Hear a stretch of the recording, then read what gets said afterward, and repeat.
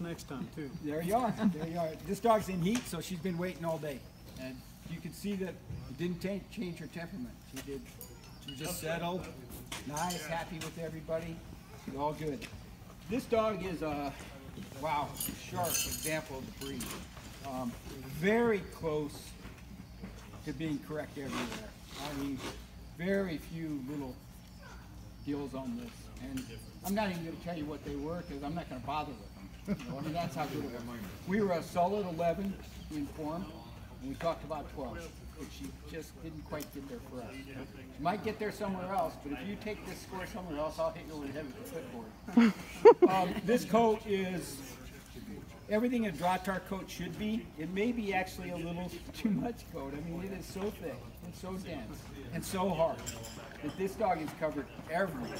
Um, the only little thing that we could say to detract it would be the hair on the ears is medium instead of short. I mean, that's how that's how close it is. Yeah. We gave her a, a 12. You go. Woo! Well, 11, 12. That's shining up in the glasses. Yeah, very nice. Good job, girl. Thank you.